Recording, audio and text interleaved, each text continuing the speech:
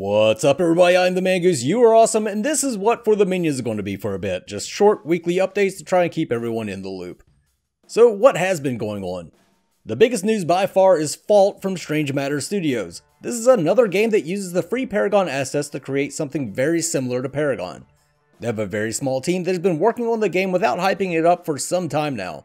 They have 11 playable heroes and are currently conducting internal tests. The gameplay you see is actual gameplay, that's me on Twin Blast conducting an interview with them.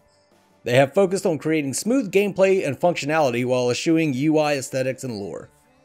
While they seem to have come from absolute nowhere, I do recognize many of these names as former members of Metabuff. You can currently sign up for their alpha and possibly get in as an early playtester. Next up is Project Stamina with their latest livestream. Project Stamina is the company currently trying to create a game similar to Gigantic. They also showed off some gameplay with the design philosophy much like Strange Matter, in that they are focusing on making the game playable before making it pretty. With that being said, their map has improved tremendously and their hero Mittani looks good running around on it. They also announced that they will include controller support for the game and that they are working with the same sound design team that worked on Gigantic. For predecessor this week, we have Fringe continuing to stream his work on a more monolith themed map while Smokey takes a much needed and well deserved vacation.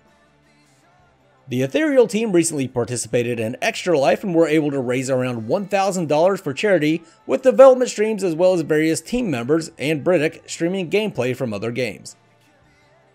That's all the news I had for this week, folks. Sorry for having to abbreviate FTM so much. I'm sure some people will actually appreciate it. I'll try to do this live next time and get feedback from the community during the show. If you want to learn more about any of these projects, I'll have links to the various social media in the description below, as well as their discords in a pinned comment. This is the Mangoose signing off. You guys have a good one. Mangoose!